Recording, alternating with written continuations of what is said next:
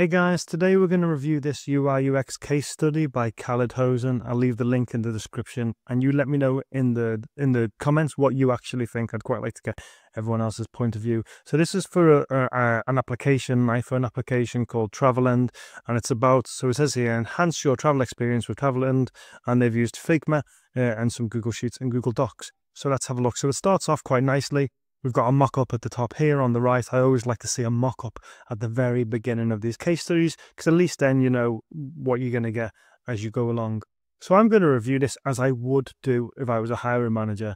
So when I'm going through this, I can see I'll probably have a quick little look at the project overview. So I'll see uh, it's a platform design, travelers with a seamless and hassle-free experience when it comes to customizing uh, travel packages. So here we've got a problem statement and a problem solution. So you can see actually, as I'm going through this, I'm not actually reading that much.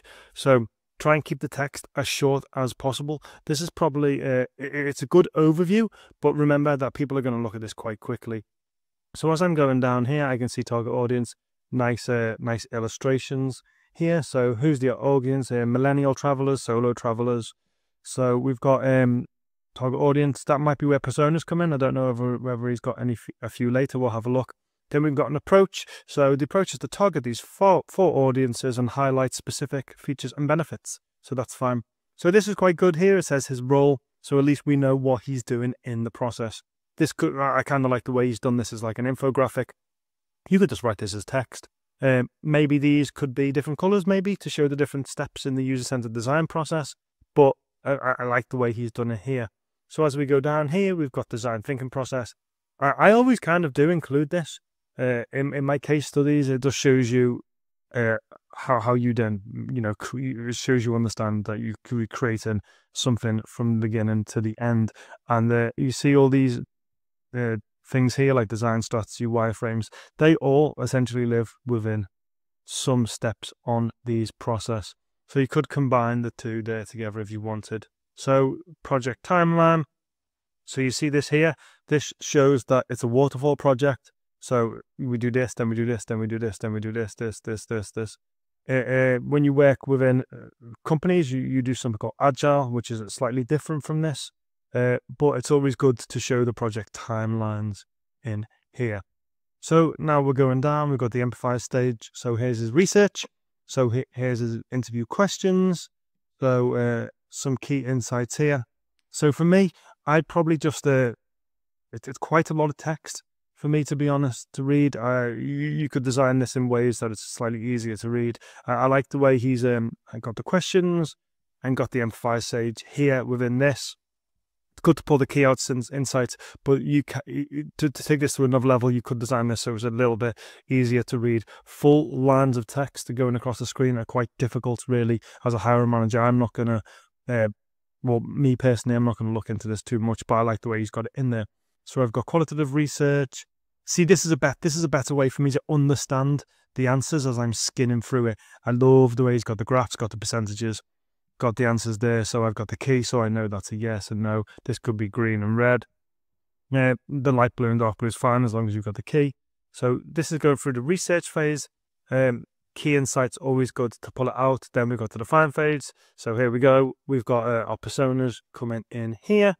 You know, you don't need to do that much. It's always good to show that you've uh, you understand how to do all this work. Um, that's good. So now, so basically, he's going through every step in the user-centered design process.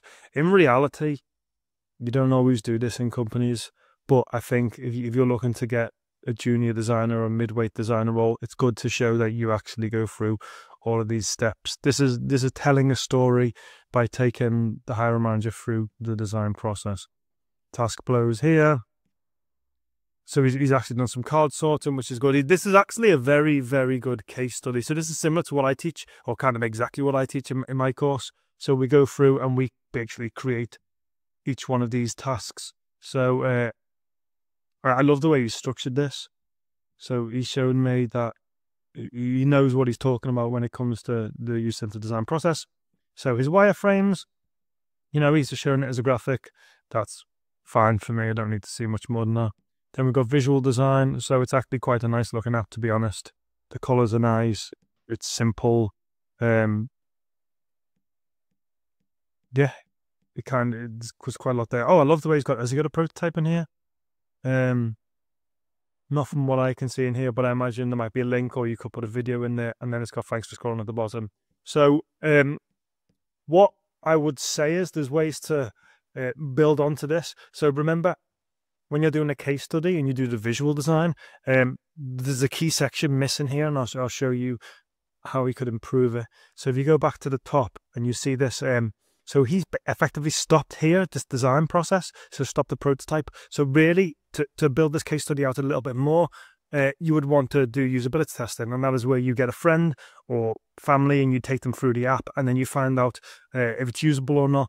You could do some behind the scenes photography and then you effectively show within your case study where you've improved the design and that shows that you understand that you know the design is just a version one and it will go through iterative versions of improvement.